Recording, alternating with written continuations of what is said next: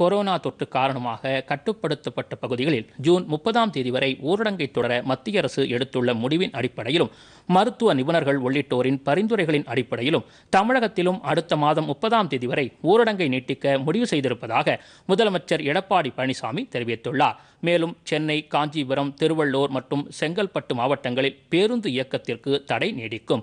பிற மாவட்டங்களில் ஐம்பது சதவீத பேருந்துகள் மட்டும் இயக்கப்படும் என்றும் அவர் குறிப்பிட்டுள்ளார்.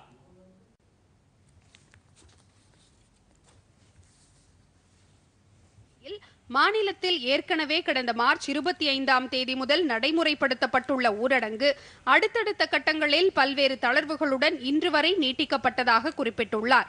மத்திய அரசின் உத்தரவை தொடர்ந்து ஜூன் முப்பதாம் தேதி நள்ளிரவு பனிரெண்டு மணி வரை ஏற்கனவே நடைமுறையில் உள்ள பல்வேறு கட்டுப்பாடுகளுடனும் சில தளர்வுகளுடனும் ஊரடங்கு நீட்டிக்கப்படுகிறது.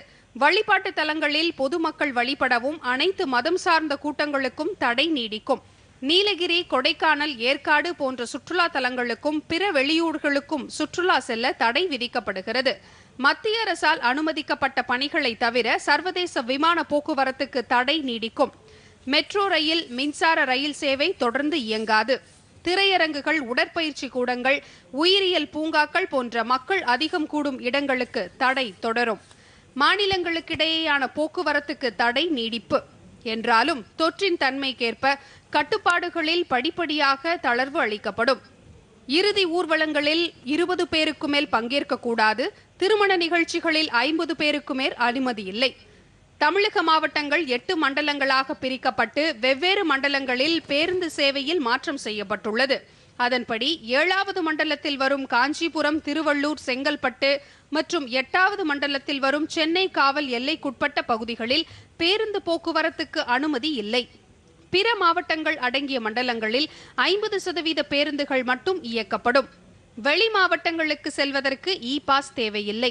எனினும் வெளி மாநிலங்களுக்கு சென்று வரவும் மாநிலங்களிலிருந்து தமிழ்நாட்டிற்கு வரவும் மண்டலங்களுக்கிடையே சென்று வரவும் இ பாஸ் முறை தொடர்ந்து நடைமுறையில் இருக்கும். சென்னை காவல் எல்லைக்குட்பட்ட பகுதிகளில் நோய் கட்டுப்பாடு பகுதி தவிர பிற பகுதிகளில் நாளை முதல் தகவல் தொழில்நுட்பம் மற்றும் அது சார்ந்த சேவை நிறுவனங்களில் நிர்வாகம் ஏற்பாடு செய்யும் வாகனங்களில் இருபது சதவீத பணியாளர்கள் அல்லது அதிகபட்சம் நாற்பது பேருடன் இயங்க அனுமதி. தனியார் நிறுவனங்கள் ஐம்பது சதவீத பணியாளர்களுடன் செயல்படலாம். வணிக வளாகங்கள் தவிர்த்து நகைக்கடைகள் ஜவுளி கடைகள் உள்ளிட்ட அனைத்து ஷோரூம்களும் ஐம்பது சதவீத பணியாளர்களுடன் செயல்படலாம்.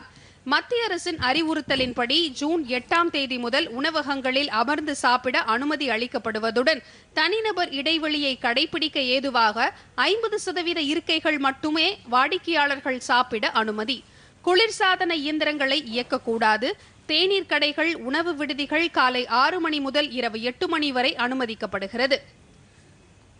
வாடகை டாக்ஸிகளில் ஓட்டுநர் தவிர்த்து மூன்று பேரும் ஆட்டோக்களில் ஓட்டுநர் தவிர்த்து இரண்டு பயணிகளும் பயணம் செய்ய அனுமதி. சைக்கிள் ரிக்ஷாக்களுக்கும் அனுமதி.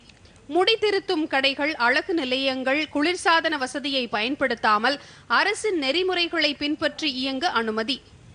சென்னை தவிர்த்து பிற பகுதிகளில் நூறு சதவீத பணியாளர்களுடன் தொழில் நிறுவனங்கள் ஐடி நிறுவனங்கள் செயல்பட அனுமதி. பெருநகர சென்னை காவல் எல்லைக்குட்பட்ட பகுதிகளில் பணிபுரியும் தூய்மை பணியாளர்கள் அனைவருக்கும் தலா இரண்டாயிரத்து ஐநூறு ரூபாய் மதிப்பூதியம் வழங்கப்படும். சென்னை மாநகராட்சிக்குட்பட்ட பகுதிகளில் தொற்று பரிசோதனைக்கு உட்படுத்தி முகாம்களில் தங்க வைக்கப்படும் ஏழை மக்களுக்கு அவர்கள் வீடு திரும்பும் போது தலா ஆயிரம் ரூபாய் ரொக்கப்பணம் வழங்கப்படும். அனைத்து பகுதிகளிலும் நோய் பரவலை தடுக்க ஏதுவாக மக்கள் வெளியில் செல்லும் போதும் பொது இடங்களிலும் முகக்கவசம் அணிவது கட்டாயமாக்கப்பட்டது என்று முதலமைச்சர் அந்த அறிக்கையில் கூறியுள்ளார்.